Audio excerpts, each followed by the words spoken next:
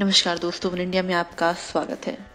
IPL 2020 के सैंतालीसवें मुकाबले में सनराइजर हैदराबाद ने पहले खेलते हुए 20 ओवर में दो विकेट के नुकसान पर 219 रन बनाए। हैदराबाद के लिए कप्तान डेविड वार्नर और विकेट कीपर बल्लेबाज रिद्धिमान शाह ने विस्फोटक पारी खेली।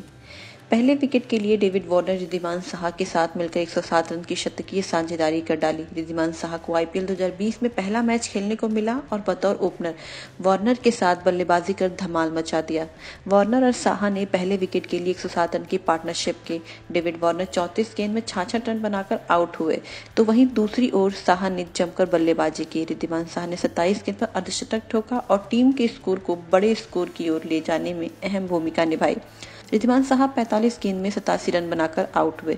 बता दें, रिद्धिमान साहा का आईपीएल में ये सर्वोच्च स्कोर है। इससे पहले आईपीएल करियर में रिद्धिमान साहा ने 2014 में किंग्स इलेवन पंजाब के खिलाफ नाबाद 115 रन और 2017 में मुंबई इंडियंस के खिलाफ नाबाद तिरानवे रन की पारी खेली थी। आईपीएल में दिल्ली के खिलाफ किसी बल्लेबाज के द्वारा खेली गई साहा की ये पारी चौथी सबसे बड़ी पारी है। आईपीएल में दिल्ली के खिलाफ सर्वोच्च स्कोर बनाने का रिकॉर्ड शिखर धवन के नाम है। शिखर धवन ने नाबाद बानवे रन दिल्ली के खिलाफ आईपीएल में बनाए हैं। बता दें रिद्धिमान साहा की आतिशी पारी देखकर विस्फोटक बल्लेबाज रहे वीरेंद्र सहवाग ने ट्वीट कर अपना रिएक्शन दिया है। सहवाग ने बड़े ही मज़ेदार अंदाज में ट्वीट किया और लिखा यही है राइट चॉइस बेबी साहा, कमाल की बल्लेबाजी। मज़ा आ गया देखकर। बता दें साहा और डेविड वार्नर की आतिशी पारी के अलावा मनीष पांडे ने 31 गेंद पर 44 रन बनाकर टीम के स्कोर को 200 के पार ले जाने में अहम भूमिका निभाई।